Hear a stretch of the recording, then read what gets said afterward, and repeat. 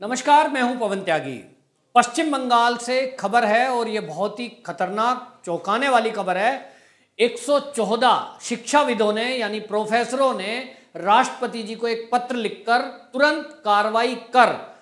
यहाँ जो पश्चिम बंगाल सरकार है, उसको बर्खास्त करने की मांग की है, और जो हमारे पश्चिम बंगाल में एस सी यानी अनुसूचित जाति, अनुसूचित जनजाति के लोग रहते हैं उनकी सुरक्षा की गुहार लगाई है। जो आंकड़े प्रस्तुत किए हैं उन्होंने पत्र में, वो बहुत ही चौंकाने वाले और दुखद हैं। आपको बता दूँ, जो पत्र में 114 प्रोफेसरों ने सिग्नेचर करके राष्ट्रपति जी को पत्र लिखा है, उसमें उन्होंने लिखा है कि पश्चिम बंगाल में टीएमसी के गुंडे, पुलिस के साथ मिलकर अनुसूचित जाति, जनजाति के लोगों पर अत्याचार कर रहे हैं, उनके घरों को जला रहे हैं, महिलाओं के साथ बलात्कार कर रहे हैं। अब आप समझिए कि ये बहुत गंभीर है। ये कोई राजनीतिक दल ने चिट्ठी नहीं लिखी है। ये प्रोफेसरों ने लिखी है और एक दो नहीं तो 114 प्रोफेसरों ने लिखी है। सेंटर फॉर सोशल डेवलपमेंट, इस नाम का एक संगठन है, उससे जुड़े हुए प्रोफेसरों ने ये चिट्ठी लिखी है। इसके पहले एस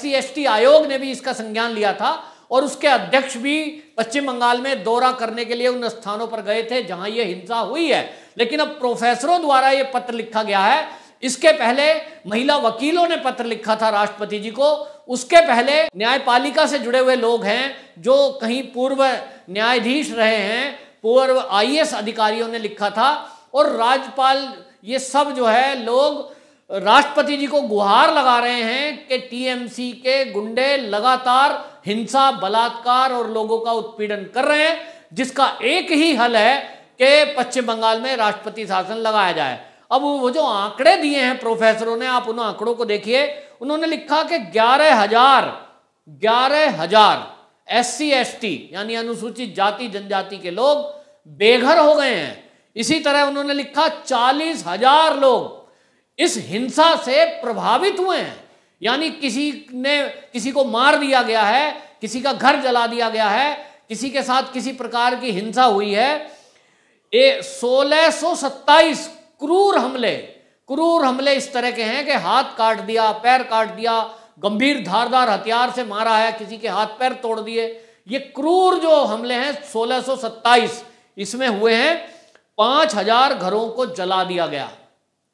उसमें उनके कारोबार ठप कर दिए। जैसे बहुत सारे जो दलित वर्ग के लोग हैं, वो चटाई बनाने का काम करते थे, जूट का काम करते थे, वो चटाइयों के जलाने, बनाने के लिए जो सामग्री इस्तेमाल करते थे, बाँस वगैरह, वो सब जला दिए। यानी एक योजना है उनकी कि किसी तरह ये यहाँ से घर परिवार छोड़ के चले जाएँ। उनका धंधा चौपट कर दें, जब बिज़नेस के लिए जो सामान ही नहीं बचेगा, जो छोटा मोटा वो कारोबार करते थे, उसको जला दिया जाएगा। तो ये मजबूर होंगे घर छोड़ने के लिए। इसी तरह उन्होंने लिखा कि 2000 लोग कम से कम विस्थापित हुए हैं और ये सब कौन है जो ये आंकड़े बताएँ? ये दलित वर्ग से जुड़े हुए लोग हैं।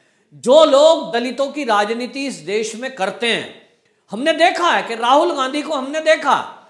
हमने प्रियंका गांधी को देखा है कि अगर बुलंदशहर में एक दलित लड़की के नाम पे बलात्कार की घटना आ जाती है तो किस तरह से वहाँ जाकर धरना प्रदर्शन करते हैं ये? पुलिस के द्वारा रोका गया तो ये मोटरसाइकिल पे भाग रहे हैं। पूरा मीडिया, इंटरनेशनल मीडिया वहाँ कवरेज दे रहा है।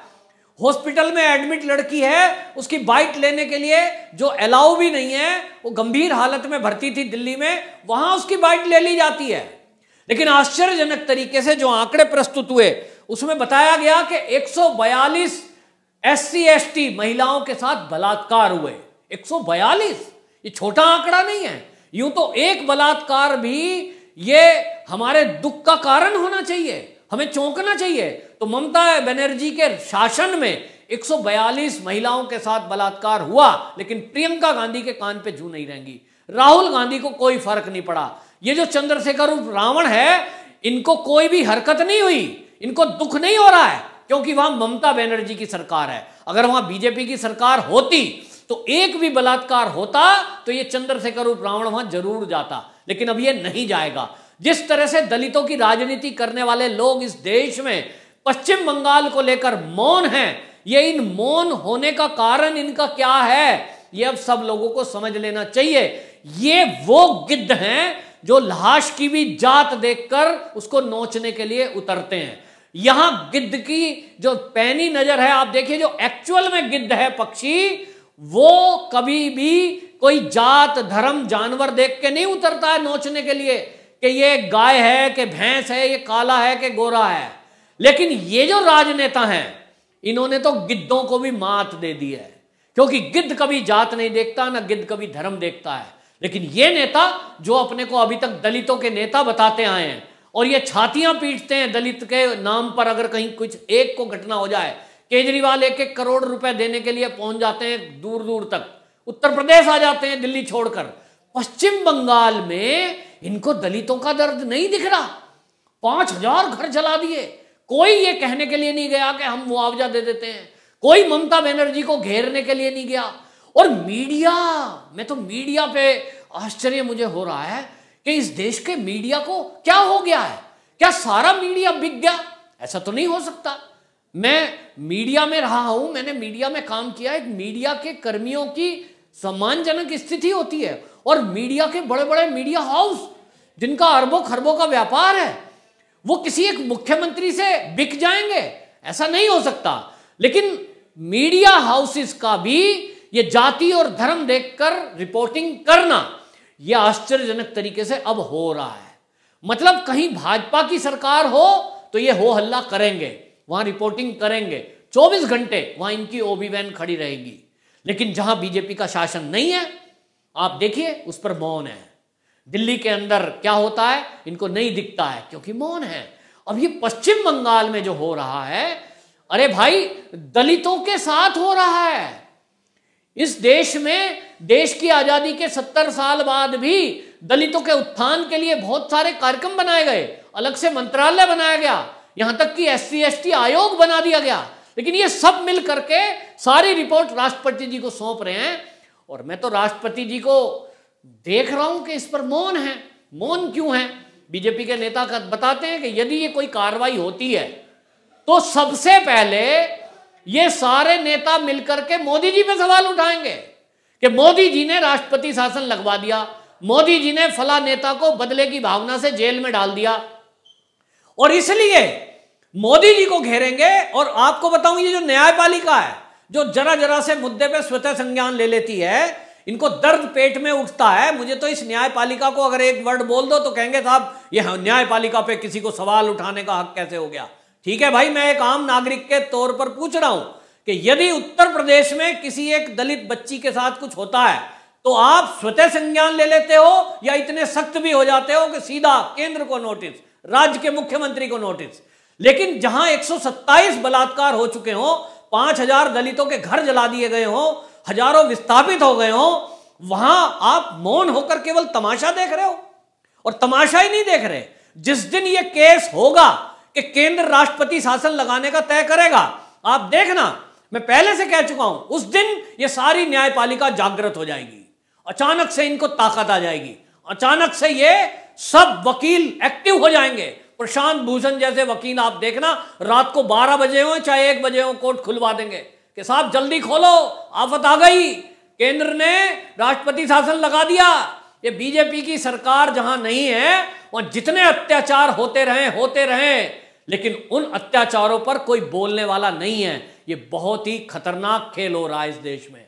इस देश में जिहादी मानसिकता के लोग ये मिलकर के और घुसपैठिए मिलकर के एक नया ट्रेंड चला रहे हैं। और हालाँकि पश्चिम बंगाल में ये देखने लायक बात है, हालाँकि वो दिल्ली में हमने देखा सीए के विरोध के समय में वो बड़ा आपस में नारा दे रहे थे कि भाई, जो रावण है, चंद्रशेखर रावण, वो खड़ा हुआ जामा मस्जिद से भाषण दे रहा था और लोगों को मैसेज देने की कोशिश कर रहा था कि हमारे तो सच्चे हितैषी कौन है? ये घुसपैठी हैं। हम घुसपैठियों के मित्र हैं। और उसके फेवर में बहुत सारे ट्वीट भी चल रहे थे, सोशल मीडिया पे बातें चल रही थी, लेकिन आज चंद्रशेखर रूप रावण मौन क्यों है, जरा बताए कि वही रोहिंग्या, वही घुसपैठिया जब पश्चिम बंगाल के अंदर दलितों के साथ अत्याचार कर रहे हैं, दलितों की बेटियों की इज़्ज़त तार तार कर रहे हैं, ऐसे में आप मौन होकर कैसे देख सकते हो? या तो आप राजनीति छोड़ दो, चंद्रशेखर रूप रावण जैसे लोग ये कहें कि हम दलितों के नेता नहीं हैं, हम तो कांग्रेस के पिट्टू थे, पिट्टू हैं, पिट्टू रहेंगे। हमें कोई कांग्रेसी कहेगा, राहुल गांधी कुछ कहेगा तो हम कुछ एक्टिंग करेंगे, नहीं तो हम कुछ नहीं करेंगे। तो राहुल गांधी क्यों कहेगा? उनको सूट करता है। दलित मरे तो मरे, दलित बेटियों की इज़्ज़त तार तार हो तो हो। क्यों? क्योंकि पश्चिम बंगाल है। अगर यही कोई बीजेपी की सरकार में कभी कोई कांड हो जाए, उत्तर प्रदेश में एक घटना हो जाए, ये सब हाईलाइट करते हैं। और आपको एक आश्चर्यजनक तरीके से बताता हूँ, कैसा ये राजनीतिक दलों का खेल है। अभी उत्तर प्रदेश में, अलीगढ़ ज़िले में टप्पल के पास एक गाँव के अंदर एक घटना होती है कि दलितों की बारात निकल रही है, बेटी की शादी थी और दलितों के मोहल्ले में जब डीजे बजते हुए बारात निकली तो वहाँ के जिहादी मानसिकता के लोगों ने उस डीजे को बंद करा दिया और जब बंद कराने को लेकर विवाद हुआ तो उन्होंने हमला कर दिया, शादी में खलल डाल दिया और जान से मारने की धमकी तक दे दी कि यदि पुलिस में कंप्लेंट करने गए तो तुम्हें रहना गाँव में है, देख लेना, रहना नहीं देंगे। और ये एक घटना नहीं है। एक के बाद दो तीन घटना हुई, लोगों को मारा गया। दहशत में लोगों ने घर के बाहर लिख दिया, ये घर बिकाऊ है। क्यों? भाई, हम तो जा रहे हैं। पंद्रह परसेंट यहाँ दलित हैं। और यहाँ, पिचासी परसेंट तो यहाँ जिहादी मानसिकता के लोग रह रहे हैं। मैं जिहादी इसलिए कह रहा हूँ कि किसी की सोच में यदि ये हो जाए कि अगर कोई हमारी मस्जिद के सामने से डीजे बजता हुआ जा रहा है तो ये हमें डिस्टर्ब कर रहा है। जबकि वो पाँच टाइम अजान पढ़ेंगे। पूरी लाउड स्पीकर ज़ोर ज़ोर से बोलेगा। इस देश में कभी भी किसी ने कुछ नहीं कहा। सुप्रीम कोर्ट ने कानून बनाया। किसी मस्जिद में पालन नहीं हो रहा। हल्ला मचाएँगे। सऊदी अरब में पालन होगा, लेकिन यहाँ पालन नहीं होगा। और सारे नेता मौन है। अब तो उत्तर प्रदेश है। योगी जी पे सवाल उठा सकते थे कि योगी जी का प्रशासन फेल हो गया। चलो भाई, हम चलते हैं वहाँ। कोई नहीं आएगा। प्रियंका गांधी भी नहीं बोल रही। कोई ट्वीट नहीं है। कोई राहुल गांधी का ट्वीट नहीं है। किसी रावण की वहाँ जाने की हिम्मत नहीं है। क्यों? क्योंकि इनको वहाँ अगर कोई मस्जिद में विवाद है, मस्जिद के द्वारा कोई हमला हुआ है और पिटने वाला दलित है, तब नहीं बोलेंगे। हाँ, अगर इसी दलित को झगड़ा करने वाला कोई ठाकुर होता, अभी पिछले दिनों हुआ उत्तर प्रदेश में। कि ठाकुर के मोहल्ले में ऐसा हो गया। सॉरी ये पूरा विपक्षी दल, पूरे मीडिया आज तक फाज तक सब पहुँच गए। हाँ भाई दलितों की बारात नहीं निकलने दी। क्या करो? जेल में डालो। जब तक सब जेल में नहीं चले गए, इन्होंने अपने चैनल पे वो डिबेट बंद नहीं करी। लेकिन आश्चर्यजनक तरीके से ये लोग अब मौन है। तो ये दोगली राजनीति और ये खतरनाक षड्यंत्र ये जिहादी लोगों से, घुसपैठी लोगों से मिलकर इस देश में दलितों को मरवाने का, उनके ऊपर अत्याचार करने का काम हो रहा है। पश्चिम बंगाल में ममता बनर्जी और उनकी सरकार, उनकी पुलिस इनको सह दे रही है। इसको तुरंत रोकने की ज़रूरत है। ऐसा ये प्रोफेसरों ने गुहार लगाई है। देखते हैं, राष्ट्रपति जी कब जागते हैं। बंदे मातरम।